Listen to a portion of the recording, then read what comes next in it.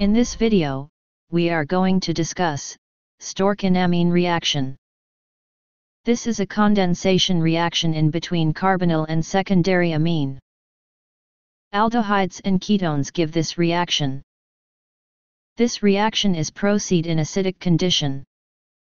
Now we are going to discuss mechanism of this reaction. Here, we are taking a classical example to explain the mechanism of the reaction.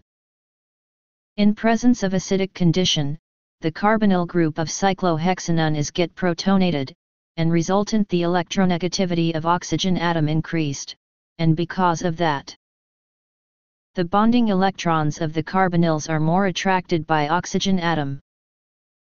Because of that the partially positive charge on carbonyl carbon atom is increased, and become more active. Now, the lone pair of secondary amine attack on carbonyl carbon, and as a result the pi bond shifted to oxygen atom, and positive charge on oxygen is neutralized. A intermediate is formed, in this nitrogen is carrying positive charge because of tetravalent structure. Now, one proton is eliminated, in order to make uncharged molecule, an alpha hydroxyamine is formed.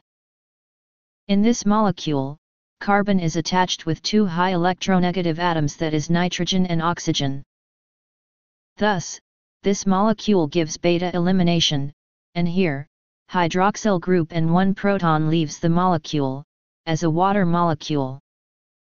And final product enamine is formed. This enamine, under the acid hydrolysis, again gives carbonyl groups. Because of that, this reaction is used to change electronic nature of the molecule. For example, carbonyl groups are electron-loving molecules.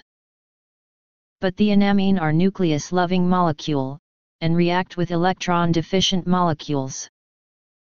The conditions and important points of the reaction. Carbonyls with 2 degrees amines gives this reaction. This is acid-catalyzed reaction. This is a Umpolung reaction, which change the nature of molecule, and allow to insert electron-deficient groups in molecules. Acid hydrolysis of enamine gives carbonyl compounds. Enamines are weak nucleophiles so gives Michael addition rather than direct addition. The credit for this video goes to Genesis of Chemistry, one of the best research consulting organization. For our services and offer, please visit our website.